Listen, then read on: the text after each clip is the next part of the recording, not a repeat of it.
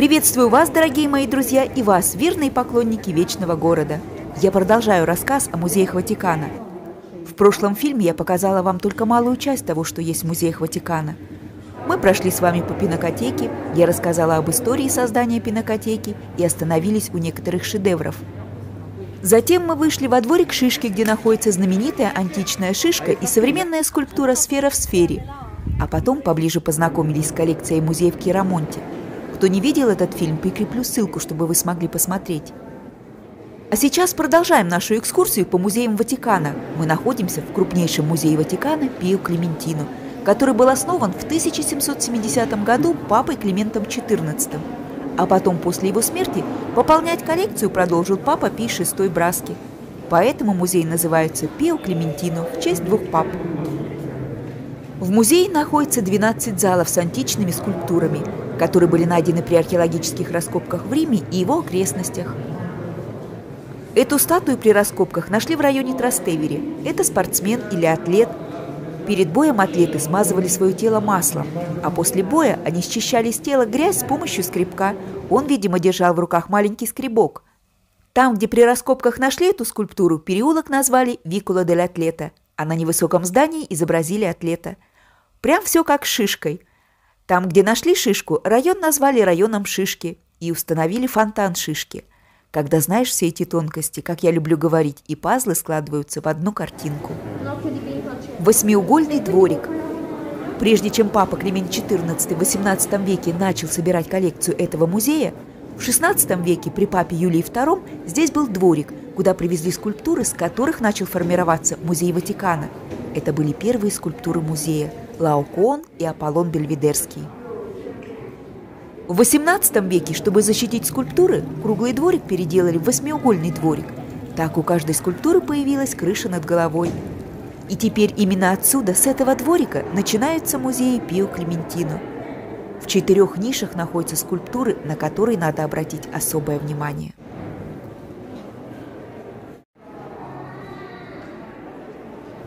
Персей Триумфатор – это скульптура Антонио Канова. В прошлом фильме я вам рассказывала, что Антонио Канова был назначен инспектором по вопросам изящных искусств. Антонио Канова ценили как скульптора. При создании Персей с головой Медузы или Персей Триумфатор Канова был вдохновлен знаменитым Аполлоном Бельведерским, который считался идеалом классической красоты. К сожалению, он сейчас на реставрации. Персей с головой Медузы – это первая современная статуя, выставленная в музеях Ватикана. Статуя так понравилась папе Пию VII, что он поместил ее на постамент Аполлона Бельведерского, который в тот момент находился во Франции. Антонио Канова очень любил книги. В его библиотеке находилось более двух тысяч книг, но у него не хватало времени на чтение. Он просил друга или брата почитать ему книги, пока он работает. Это рассказы, мифы, легенды. Они помогали ему в создании новых шедевров. Ну а теперь давайте поговорим об этой скульптуре «Персей Триумфатор». У царя Аргуса была красавица-дочь Даная, но не было сыновей. Когда он спросил предсказателя, будут ли у него сыновья, тот ему ответил, что нет. Наследника у него так и не появится, но зато родится внук, который судьбой написано «убьет своего деда». «Он убьет тебя и займет твое место», — сказал предсказатель. Старый царь обезумел от ярости, он все еще пытался избежать предсказанной участи – его работники сделали большой деревянный сундук, поместили туда Данаю с младенцем, закрыли сундук и бросили его в бушующее море. Юпитер переживал за судьбу Даная и Персея, он обратился за помощью к Нептуну. Бог моря успокоил воду и прибил сундук к ближайшему берегу. Их нашел и спас рыбак, брат правителя острова, на который они попали. Правитель острова Полидект поприветствовал Данаю и Персея и оставил жить на острове. Персей вырос в прекрасном дворце и стал самым сильным из всех мальчиков на острове. И Даная была прекрасна. Правитель острова влюбился в нее и хотел жениться, но Персей, ее сын, был против этого брака. Тогда правитель острова задумал избавиться от юноши. Однажды во время пиршества Полидект спросил у своих гостей, что бы они могли подарить ему. Было названо много всего. Кто-то хотел принести в дар коня, кто-то сокровища, а Персей сказал, что для него он мог бы раздобыть даже голову самой Гаргоны.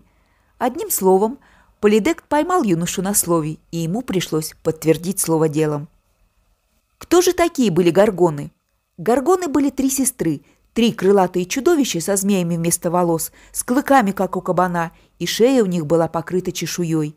Две горгоны были бессмертные, а третья медуза не обладала бессмертием, но все равно справиться с ней было очень сложно, так как она одним взглядом могла любого превратить в камень. Персей смог достать шлем Аида, делающий своего хозяина невидимым, а значит в нем он сможет подойти ближе к медузе. Крылатые сандали, волшебную сумку для головы медузы, острый меч и бронзовый щит. Бронзовый щит был как зеркало, ведь в глаза медузе нельзя было смотреть, иначе ты сразу превратишься в камень. И Персей в поисках медузы смотрел в щит, как в зеркало. Он долго искал медузу, и вот когда увидел этих существ, сразу же появилось желание сбежать, но понял, что путь назад – это смерть. В какой-то момент чудовище хотело поразить Персея и полетело ему навстречу, но юноша обнажил меч и одним точным ударом отрубил медузе голову. Голова покатилась к его ногам.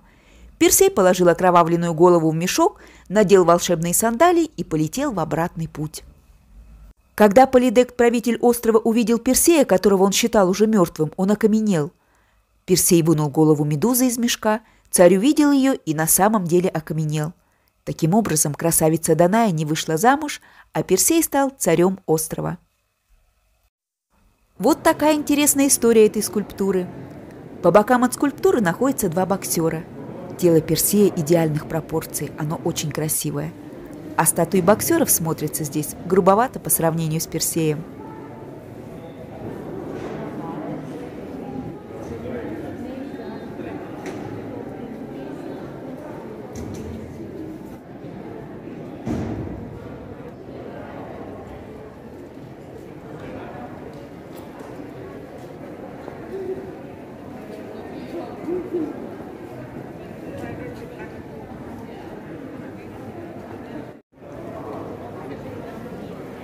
Полулежачая статуя речного божества. Она датируется эпохой Адриана.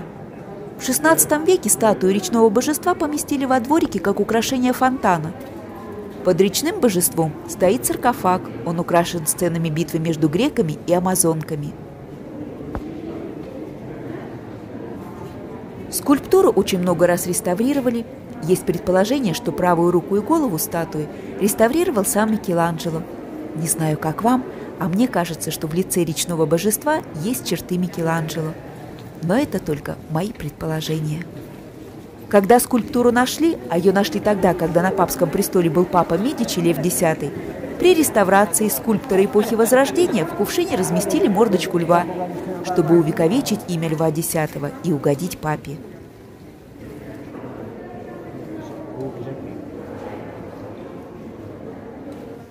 Скульптурная группа Лаокоон была найдена в 1506 году при раскопках терм Трояна, и при перевозке ее в Ватикан в честь этого шедевра античности били в колокола все церкви Рима. Статуи Лаокоона приезжали любоваться путешественники со всей Европы. С нее делали слепки, изготавливали мраморные копии и, конечно же, рисовали. Статуя была найдена без руки, и тут же был организован конкурс, чтобы предложить лучшую модель для замены отсутствующей руки Лаокоона – Микеланджело предложил сделать согнутую руку, чтобы подчеркнуть сопротивление главного героя. Рафаэль же и судья конкурса выбрали другую позу с вытянутой рукой. Она и была создана, и с этой рукой статуя простояла до 20 века. Однажды архитектор Людвиг Полок, прогуливаясь по холму, где была найдена статуя Лаокоона, с любопытством заглядывал в антикварные магазины, мастерские и лавки. Он обратил внимание на старинную согнутую руку. Уж очень она была похожа на руку Лаокоона – он принес эту руку в Ватикан, хранитель музея берет ее и отправляет на склад, и тут же про нее забывает. Наступил момент, когда стали разбирать складские помещения. Это случилось через 50 лет. И опять наткнулись на руку. Рука один в один подходила к скульптуре Лаокоона. И только в 1957 году руку, которую сделал ученик Микеланджело, удалили и прикрепили оригинальную античную согнутую руку. Микеланджело не ошибся. Античная оригинальная рука была согнутая, как и предполагал он 450 лет назад. В 1527 году после разграбления Рима войсками Карла V Рим переживал страшное время. Много было разрушено из произведений искусства, что-то было повреждено, а что-то уничтожено.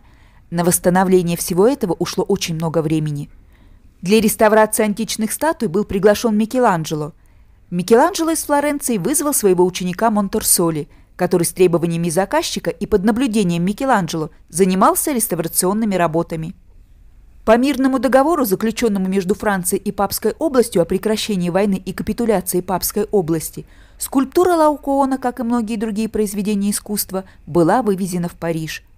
После Венского мирового договора скульптура вернулась в Ватикан, и встречал ее Антонио Канова. Он позаботился о размещении Лаукоона в музеях Ватикана. Когда я рассказываю про то, как из Рима во Францию вывозили сокровища в виде картин и скульптур, то вспоминаю еще один факт.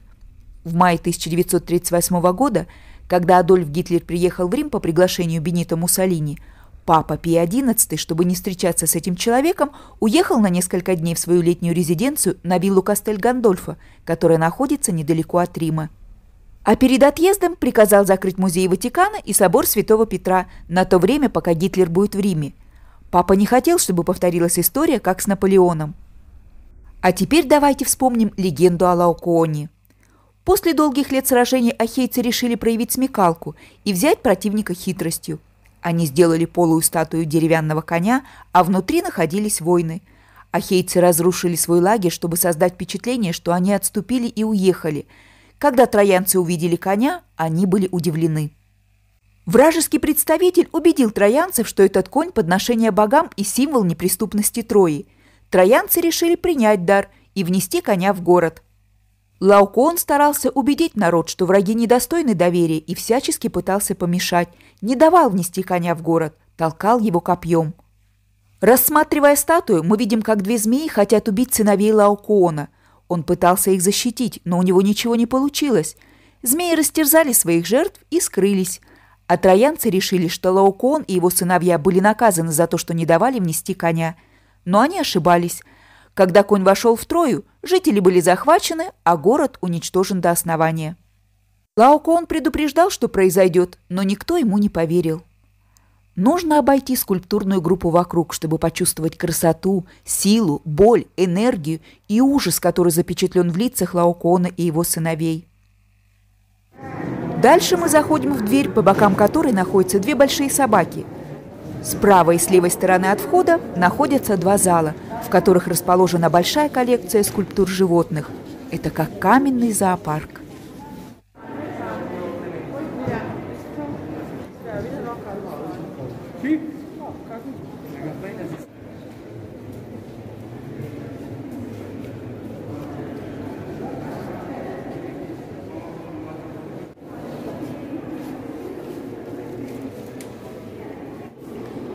Продвигаясь вперед, мы попадаем в зал Мус. Зал прекрасно украшен фресками и статуями Мус, но если ты знаешь, что в центре этого зала стоит тот самый торс, которым до последних дней наслаждался Микеланджело, то не замечаешь ничего вокруг и бежишь к этому торсу.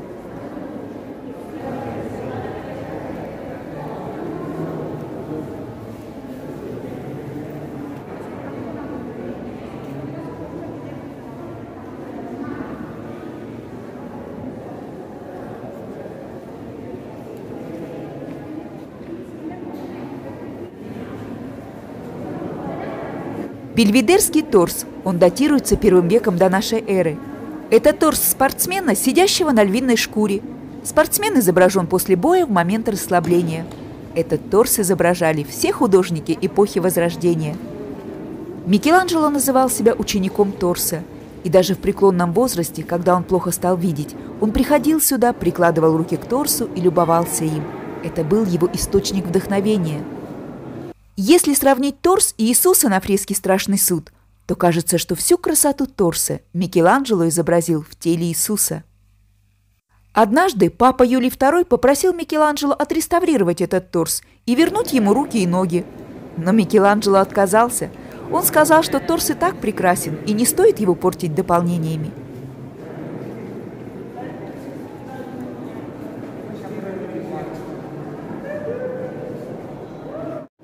Мы заходим с вами в следующий зал, зал Ротонда или круглый зал. Папа Пий VI продолжил собирать коллекцию после Климента XIV. Этот папа больше, чем его предшественник, хотел увековечить свое имя. Его геральдический знак «Ветер, дующий на лилию» был размещен повсюду. Над входом, на дверях, на лестнице и даже под лестницей и в убранстве залов.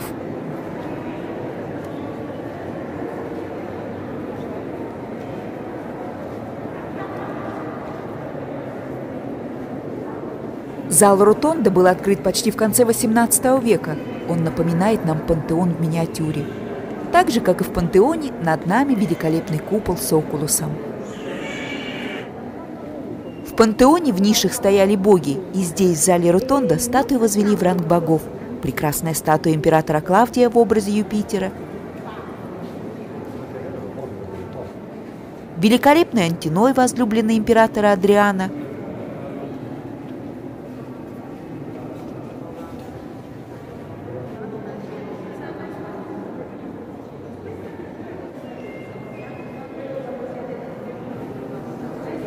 Фаустина, жена императора Антонина.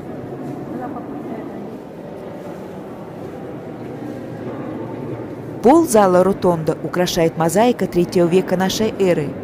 В центре зала находится красивая чаша из красного порфира. Она была найдена на термах Тита.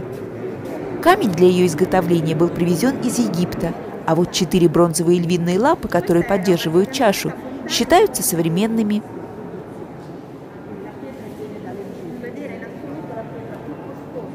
И сегодня мы с вами немного прогулялись по музеям Ватикана. И это еще не все, продолжение следует. Какая у нас с вами прекрасная возможность. В любой момент можно остановиться, переместиться на улицы Рима. Но когда вы приедете в Рим и решите посетить музей Ватикана, такой возможности у вас не будет. Вам придется проходить все залы, а это очень длинный и тяжелый маршрут. А сейчас, дорогие мои друзья, я приглашаю вас немного прогуляться по Риму.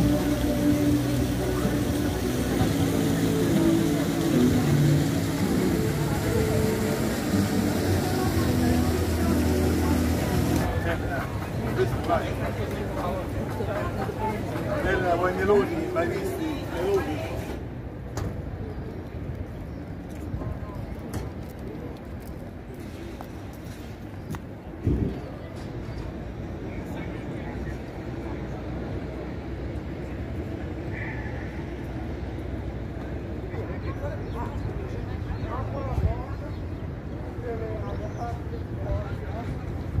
С 12 апреля по 8 мая 2022 года в замке Святого Ангела будет проходить выставка Бартоломео Пинелли. Не знаю, будет ли у меня время сходить на выставку, но мне хотелось бы посмотреть. Если схожу, то и вам покажу.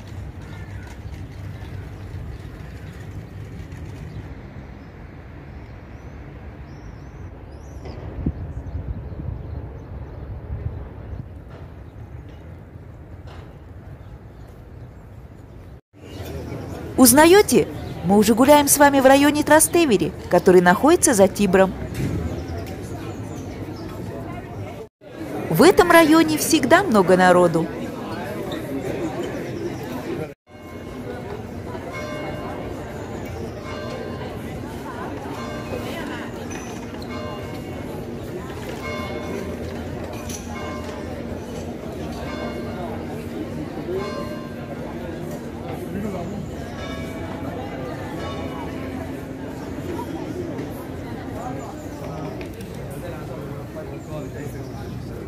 No, io il kebab ho smesso proprio. Qua in Italia.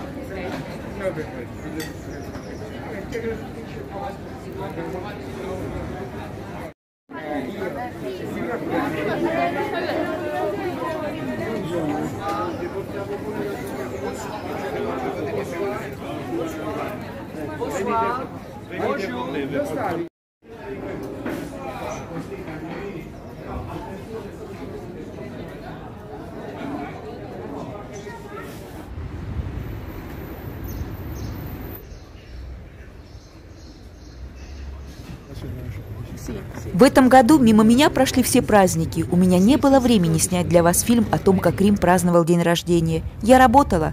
Моя миссия – влюблять вас в вечный город. Иногда была плохая погода, и мы с туристами не унывали и проходили все намеченные маршруты, несмотря ни на что.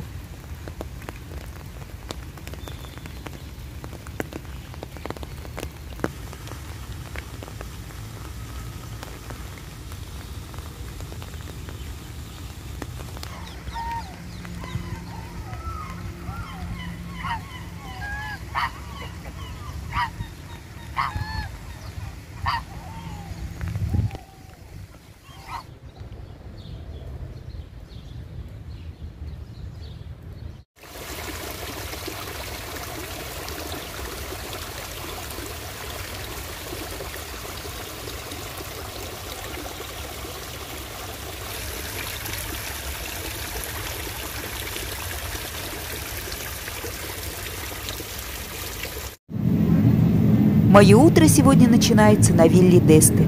Как же я люблю весной привозить гостей Рима на виллу Десты. Здесь все в цвету. Цветут деревья, кустарники, цветы, поют птицы и шумят роскошные фонтаны. В 1550 году вилла Десты была заказана кардиналом Ипполитом II. Он был сыном Альфонса I Десты и Лукреции Борджия. Сыном той самой Лукреции Борджия, про которую я вам уже рассказывала – она была дочерью самого скандального папы римского Александра VI. То есть заказчик этой виллы был внук папы римского Александра VI. Вилла удивительной красоты. Она находится недалеко от Рима, но многие туристы не доезжают сюда. Кто-то не знает про нее, а кто-то боится не найти. По времени вместе с дорогой у нас на экскурсии уходит от 5 до 6 часов. Мы выезжаем на электричке в 9 утра, и в 2 или в 3 часа дня мы уже в Риме. Успеваем посмотреть дворец, виллу с фонтанами и даже прогуляться по городку. Этой весной у меня так получается, что я бываю здесь один или два раза в неделю и всегда рада возвращаться на виллу. Когда вы будете в Риме и захотите побывать на вилле Десты, буду рада показать вам эту красоту. Недаром Лис посвятил вилле три произведения у кипарисов виллы Десты и два произведения фонтаны виллы Десты. На этом, дорогие мои друзья, я буду прощаться с вами. Несмотря на занятость, я буду обязательно снимать для вас новые видео. Жду от вас комментарии, лайки, делитесь видео с друзьями и до новых видео. Желаю вам всем мира и добра.